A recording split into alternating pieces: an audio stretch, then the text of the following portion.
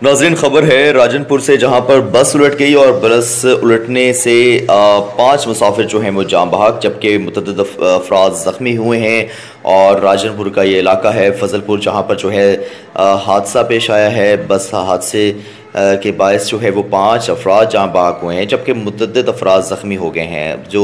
Rescue ज़राए हैं, वो कंफर्म करते हैं जी, बीस अफराद ज़ख्मी हुए हैं और रेस्क्यू के मुताबिक जो है वो हादसे में जहाँ बाग होने वालों में दो बच्चे, एक खातून भी शामिल हैं। हादसे में जो है वो मजमू तौर पर जो है वो पाँच अफराद जहाँ बहाक हुए हैं, बीस अफराद शदीद ज़ख्मी हुए हैं जिन्हें जो है वो जो हस्पताल मुंतकिल किया गया है और वहाँ के जो डिस्ट्रिक्ट इंचार्ज हैं, रेस्क्यू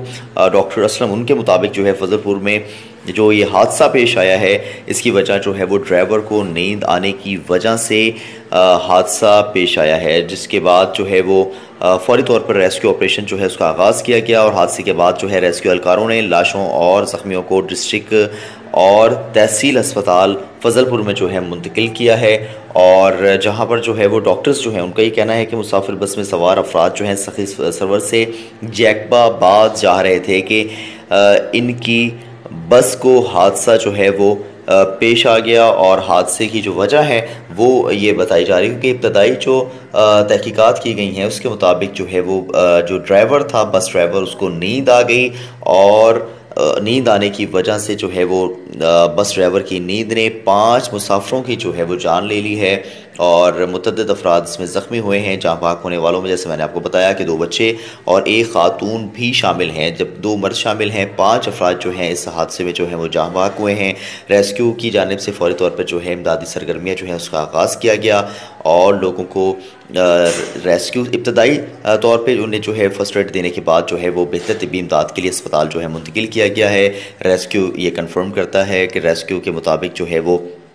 इंडस रोड है फजलपुर के करीब। जहाँ सखी सरवर से आने वाली जो ज़ायरीन की बस है, वो लट गई और रेस्क्यू की जानब से जो है उन्हें वहाँ पर अस्पताल में मुंतकिल करने का अमल जो है उसको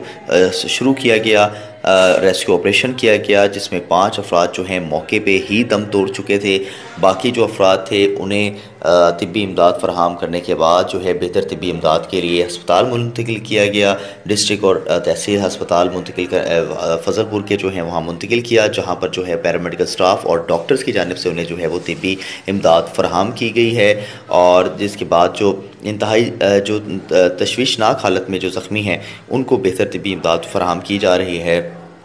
और अस्पताल में तमाम तर जो वसाइल हैं तबी तौर पर जो वसाइल हैं, उन्हें बरकार लाया जा रहा है और तमाम तिबी सहूलतें जो हैं वो ज़ख्मियों को फराहम की जा रही हैं। तो नाजिन वीडियो से मतलब जो है वो अपनी राय का इजहार करना मत भूलिएगा। चैनल को सब्सक्राइब करें, बेल आइकन पर क्लिक करें, ताकि आने वाली हर लेटेस्ट वीडियोज़ के जो नोटिफिकेशन हैं, वो आपको मौसू होते रहें।